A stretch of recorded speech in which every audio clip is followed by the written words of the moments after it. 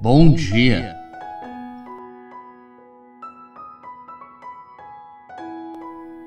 Que a paz de Cristo esteja em nossas casas.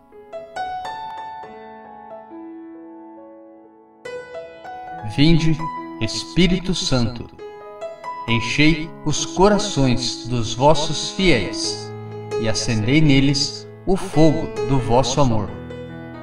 Enviai o vosso Espírito, e tudo será criado, e renovareis a face da terra. Oremos. Ó Deus, que instruíste os corações dos vossos fiéis com a luz do Espírito Santo, fazei que apreciemos retamente todas as coisas segundo o mesmo Espírito e gozemos da sua consolação. Por Cristo, Senhor nosso. Amém. A leitura de hoje é tirada da profecia de Amós, capítulo 6, versículo 1a, e depois dos versículos 4 ao 7. Assim diz o Senhor Todo-Poderoso Ai dos que vivem despreocupadamente em Sião, os que se sentem seguros nas alturas de Samaria, os que dormem em camas de marfim.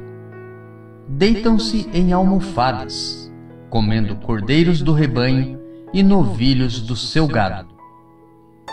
Os que cantam ao som das harpas, ou, como Davi, dedilham instrumentos musicais os que bebem vinho em taças e se perfumam com os mais finos ungüentos e não se preocupam com a ruína de José. Por isso, eles irão agora para o desterro, na primeira fila, e o bando dos gozadores será desfeito.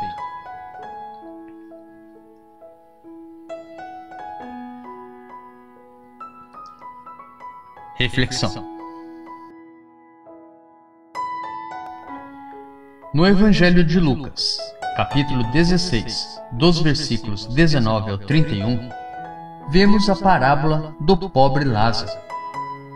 E isso nos oferece uma difícil lição: a de que nossas pobrezas, materiais e espirituais, não são a coisa mais importante e podem até esconder dons mais preciosos, ao passo que a riqueza e o bem-estar podem ser enganosos e nos fazer perder o essencial.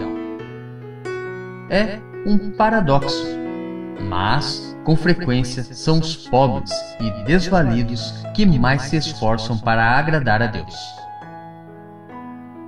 Certamente, Lázaro não foi para o céu apenas por ser pobre, mas ele devia manifestar, em meio às suas adversidades, algumas daquelas virtudes mencionadas na leitura da primeira carta de São Paulo a Timóteo, capítulo 6, dos versículos 11 ao 16.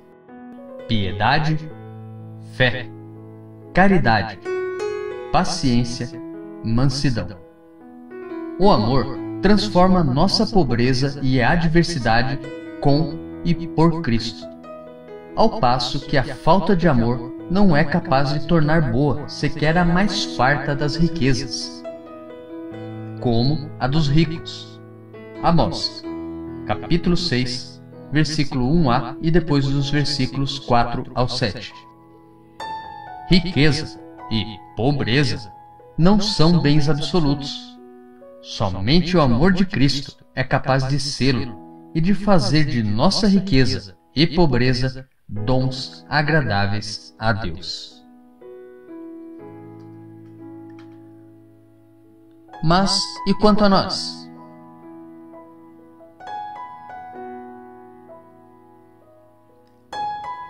Vimos que não basta ser pobre para ganharmos o reino dos céus.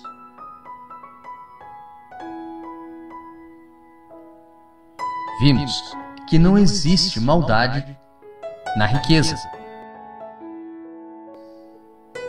Será que, ao invés de nos preocuparmos com coisas terrenas, como dinheiro, riquezas, deveríamos nos preocupar mais com as coisas do alto?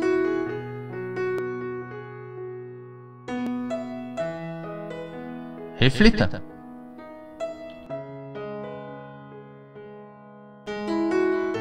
Tenha um ótimo e abençoado dia.